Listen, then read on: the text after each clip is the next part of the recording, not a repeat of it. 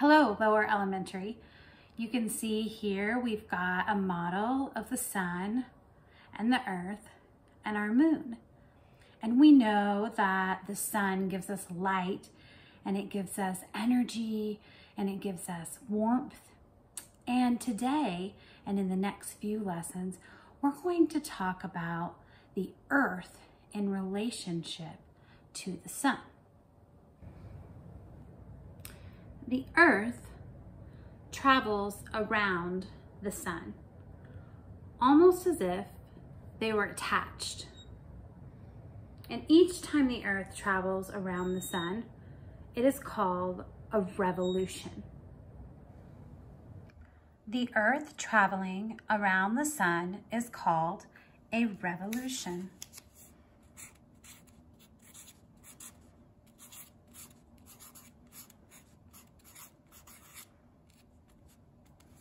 Revolution.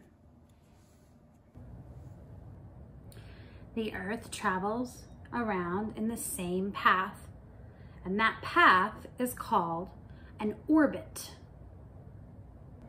The earth's path around the sun is called its orbit.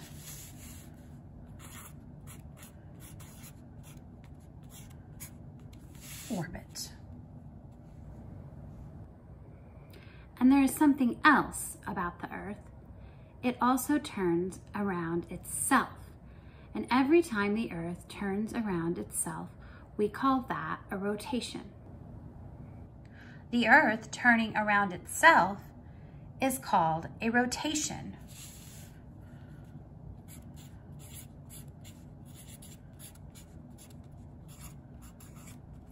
Rotation. Pretend like this tack is us. If we were able to look down upon our solar system, we would see our Earth revolving around the sun, and at the same time, we would see it rotating, rotating and revolving. It's like a dance.